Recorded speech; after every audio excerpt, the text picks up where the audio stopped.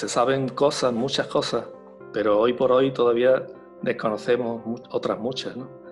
Pero cada vez se sabe más y por el sentido común, por la epidemiología, por la forma como se presenta, por la forma como se comporta desde el punto de vista clínico, pues tenemos cierta hipótesis ¿no? de, cómo se...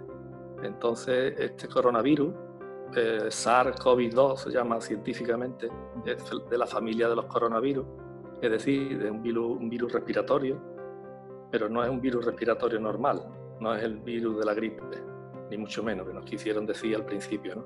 Es un virus que parece que está injertado, ¿no? como cuando se injerta un árbol y no se puede demostrar, pero es un virus que se comporta por una parte como un virus respiratorio, pero además se comporta como un virus muy agresivo, con una transmisibilidad muy alta, una transmisión, eso es lo que ha hecho que se disemine por, todo el mundo en muy poco tiempo, cosa que no es, es excepcional, que pasó, bueno, en la gripe de 1918 también pasó, que afectó a todo el mundo y mató a 50 millones, pero fue una cosa más lenta. Esto así, nos ha cogido a todos de una forma que era impensable, ¿no? que una situación así llegara en el siglo XXI.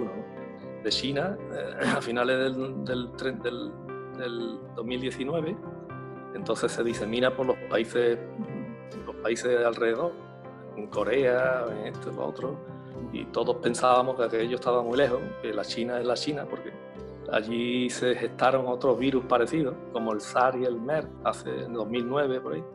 Y no pensábamos que iba a llegar a Europa ni se iba a comportar con esa agresividad. Entonces pues, ha provocado un gran problema, una pandemia. Esto es una pandemia de, de, una categoría que no se ha visto nunca, salvo cuando fue la del 2018, pero eran otras circunstancias, eran otra vida, otra forma.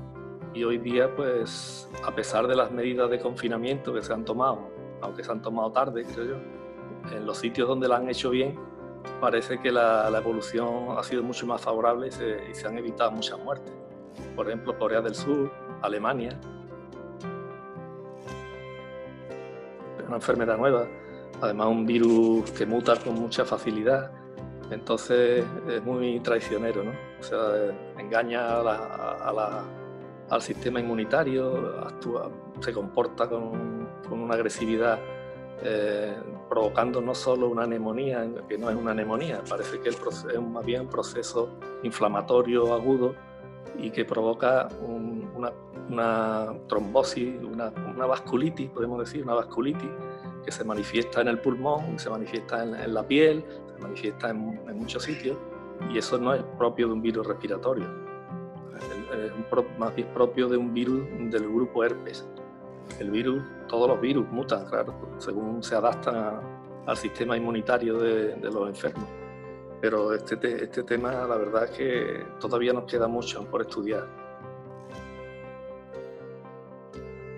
Y muchas veces esto del COVID-19, me voy para otro lado, se comporta también como una sepsis, como una sepsis bacteriana. Cuando hay una sepsis bacteriana, si no la paramos a tiempo, hay una respuesta inmunológica bestial y entonces se produce un, shock, se produce un síndrome respiratorio agudo y se produce una coagulación intravascular diseminada y entonces ya hoy por hoy eso no hay quien lo pare. La mayoría de veces se intenta parar, claro, con inmunomoduladores, con corticoides, etc. Pero es lo mismo, el virus este cuando, cuando tiene esa agresividad, sobre todo en personas mayores o que tengan algún tipo de eso, eh, por eso tiene esta mortalidad tan alta. desde el punto de vista clínico es muy parecido a un virus respiratorio, al virus de la gripe.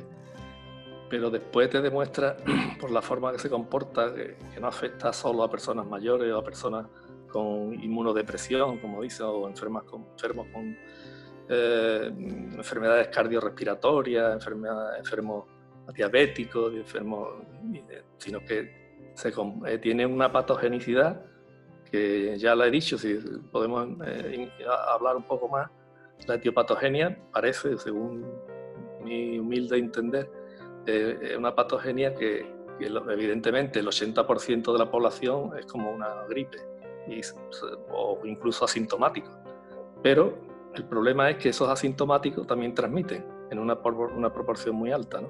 Entonces, ese es el gran problema, que aunque hay gente que parece que ya ha superado la enfermedad, sí, parece que sí, ahora mismo se tiene el criterio de que la PCR es diagnóstica, evidentemente, porque la PCR detecta el genoma del virus.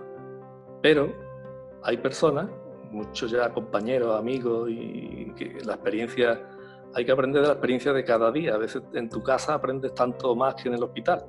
Y entonces, en este caso, pues hay pruebas, hay pruebas de que se comporta de una forma muy, muy agresiva y, entonces eh, tú me dices el tratamiento, el manejo, pues el manejo clínico en el 20% restante, es decir, el 80%, gracias, va a ser como una inmunidad de, rebaño que se llama, que entonces va a afectar a todo el mundo y cuando la población ya en un 60, 70, 80% tengamos anticuerpos, pues evidentemente ya la mayoría de la población está protegida, ¿vale? Pero eso no quiere decir que, esto pase. Hay, hay, indicios científicos y clínicos que, que, puede haber una segunda, un segundo oleaje, como dicen, una segunda vez, que venga otra vez el virus con otra mutación. También parece que hay pruebas de que el virus eh, no es el mismo en China que en Europa. Parece ser que hay una, una, cepa, la cepa más agresiva, están en Nueva York, que habéis visto las imágenes tan tremendas de Nueva York, y las imágenes, y, también en España y Italia. ¿no? Por eso parece que la mortalidad en estos países es mayor, lo cual no creo que sea muy, muy variable, no es, no, es científico 100%, es decir, la mortalidad es mayor porque no se han hecho pruebas de screening. ¿Se entiende lo que es screening? Bueno, explícalo tú mejor para todos. Hombre, si tú haces muchas, muchos test serológicos para testar anticuerpos, evidentemente eh, diagnostica a muchísimas más eh, personas que tienen el COVID-19 o lo han tenido. Claro, eh, hay que, la prueba 100% en principio es la, es la PCR, pero tampoco es la panacea. Es decir, tú tienes la PCR, desarrollas toda la enfermedad y lo normal es que cuando ya has vencido al, virus desaparezca el genoma, el genoma, entonces la PCR es negativa. Pero no es siempre así. Hay gente que se comporta, un amigo, por ejemplo, Santi Moreno, tuvo la UCI y después salió perfectamente, ya muy bien clínicamente, pero la PCR positiva. Y pasó una semana, la PCR positiva. Y se dio otra semana y la PCR positiva. Y así ha pasado con mucha gente que conocemos, eh, está completamente asintomática y la tiene en la PCR positiva. Entonces, eh, quiere decir que el genoma se mantiene más tiempo y que tarda un tiempo en desaparecer el genoma. Voy a explicar mi caso porque es que la, la, dice la refrán, la experiencia es la madre de la ciencia. Yo fui a Londres y allí estoy seguro que cogimos, nos, contagiamos, somos personas más o menos buena inmunidad. Y entonces al día siguiente, después, recién llegado allí, pues ya empecé con síntomas, síntomas de dolor de garganta, febrícula, mal cuerpo.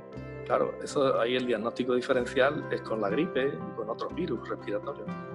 Pero como yo ya estaba eh, estudiando el virus desde hacía meses, pues inmediatamente me tomé acitromicina. Acitromicina, con Z, que es un macrólido que tiene efectos sobre la replicación viral. Entonces dirán ustedes, bueno, ¿y cómo un, antibiótico sirve para los virus? Pues sí, sirve, porque el mecanismo de acción, ¿entiendes? Es evitar la replicación del, del virus, del RNA. Es un virus RNA que después eh, se transforma en ADN y se hace dueño de la célula. La citromicina, 500 miligramos, eh, la citromicina tiene unas muchas ventajas porque además alcanza concentraciones muy elevadas en los leucocitos y los linfocitos, en las células y los tejidos. Entonces, eh, ahí por ahí se va conociendo y, admitiendo que parece que es lo eficaz. Pero hasta hace poco la citromicina en los protocolos, múltiples protocolos, que se van cambiando cada día muchas veces, porque pues se daba la citromicina al final, cuando ya en los enfermos prácticamente había pasado lo peor de la infección. Y yo creo que hay que darlo al principio, cuando tienes una clínica, los menores síntomas. Y, otra, otra sustancia que, si Dios quiere será útil, creo, eh, al final es lo mismo que como tratábamos las neumonías, ¿no? las neumonías bacterianas, las neumonías tienen cosas, tienen similitudes y otras tienen cosas que van a favor y otras en contra. Entonces yo el manejo lo haría eso así, además, pues como todos los virus respiratorios, mucha agua, beber 2, 3 litros de agua, mucho té, cosas de sentido común, eh, vitamina C, mucha fruta. Yo, soy un defensor de la dieta mediterránea y procuro que siempre tenga, gracias a Dios, aquí lo tenemos muy cerca, eh, siempre fruta, fruta, fruta, dos, cinco, seis o siete piezas de fruta. Eso, la vitamina C también se ha, demostrado, parece que, es efectiva para controlar el virus, como para otras muchas cosas. La dieta mediterránea se ha, demostrado que es útil contra el cáncer, contra miles de enfermedades.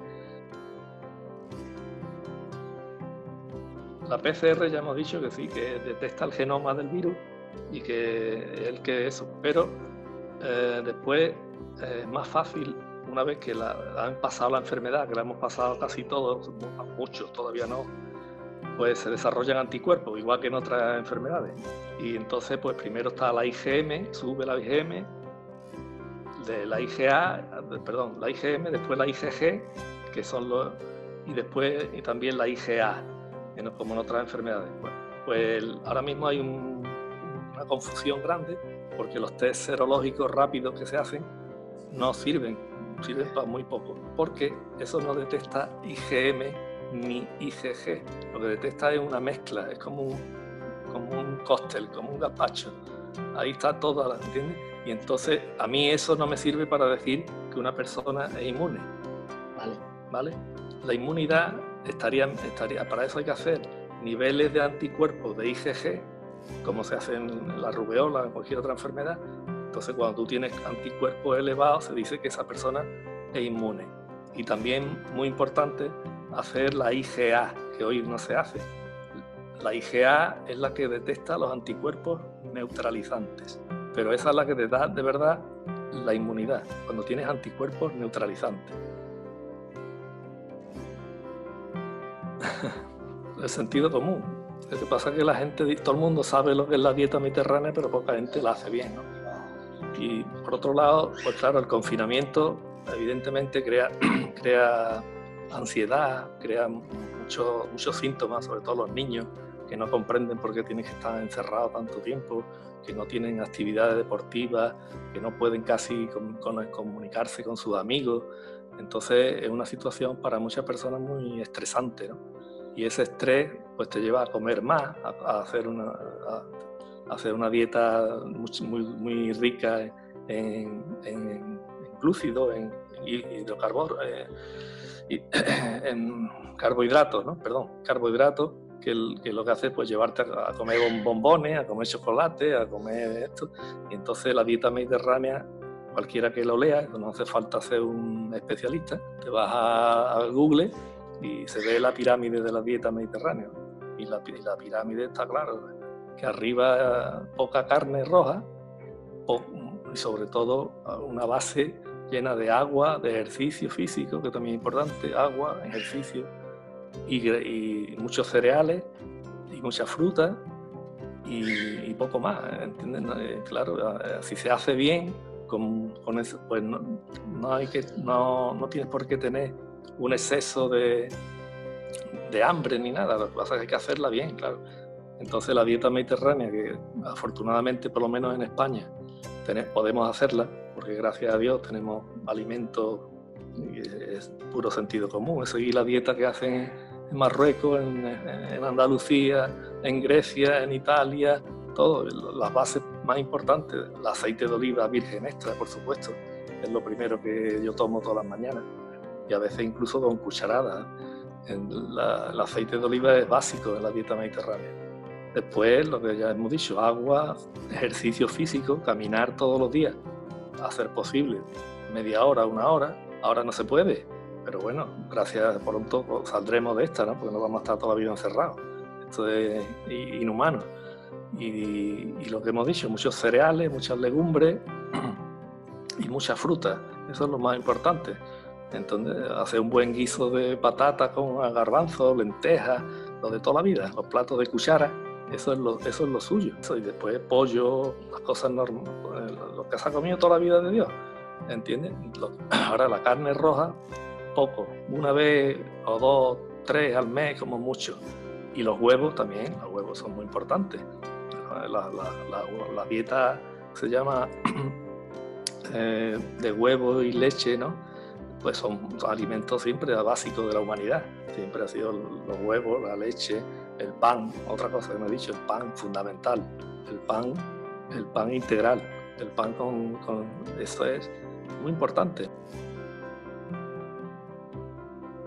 Quiero leer una frase de don Santiago Ramón y Cajal, del libro se llama Los tónicos de la voluntad, que el libro este salió de, su discurso cuando eh, don Santiago Ramón y Cajal ingresó en la Academia de Ciencias en 1897, hace 123 años. Y entonces, eh, de su discurso de ingreso en la Academia de Ciencias, él eh, escribió este libro y, lo subtituló Tónicos de la Voluntad. Y entonces te voy a leer solamente una frase para que vean cómo es Don Santiago. Don Santiago, por ejemplo, dice, la filosofía es fuerza convenir que en las ciencias naturales y sobre todo en la biología resulta muy eficaz para preservarnos de esa, de teoría innata de, que el especie de germen donde todo se contiene en el árbol de la ciencia.